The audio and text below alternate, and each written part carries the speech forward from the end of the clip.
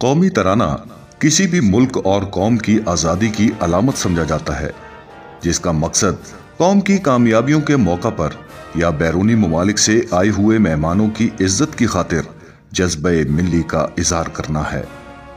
हकूमत पाकिस्तान ने सन उन्नीस में कौमी तराने के लिए कमेटी कायम की, जिसका मकसद कौमी तराने पर काम करना था।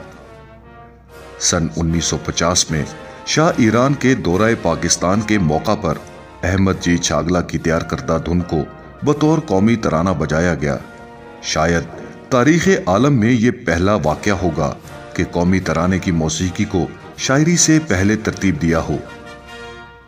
सन उन्नीस में हुकूमत पाकिस्तान ने कौमी शायरों को अहमद जी छागला की धुन के मुताबिक कौमी तराना लिखने की दावत दी और इस तरह हफीज जालंधरी के तीन बंद पर मुश्तमिल शायरी मजमूए को कौमी तराने के तौर पर मंजूर कर लिया गया।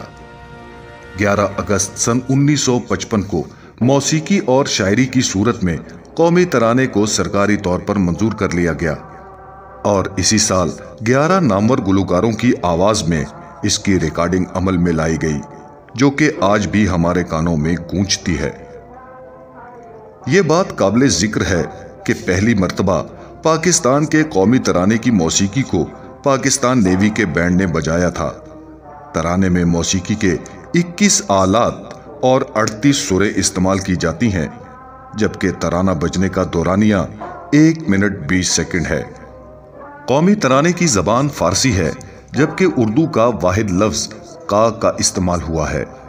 तराने के तीन बंद हैं, जिनका कोई मिसरा दोहराया नहीं गया। पहले बंद में मुमलिकत खुदादाद पाकिस्तान को ईमान का मरकज करार दिया गया है। दूसरा बंद इस बात की अक्सी करता है कि इस मुल्क में बसने वाली आवाम की अखुवत और रवादारी ही असल क़वत है। जबकि तीसरा और आखिरी बंद कौमी परचम के बारे में है, जिसके मुताबिक हमारा अजीम सब्ज हिलाली परचम तरक्की और कमाल का रहबर है। माजी का तर्जुमान है, हाल की शान। और मुस्तबिल की जान है। खेल का मैदान हो या बैन अवी ताल्लुक मैदान जंग हो या दरसगाह हमारा अजीम कौमी परचम और कौमी तराना पूरे जोबन और रानाई के साथ मौजूद होते हैं।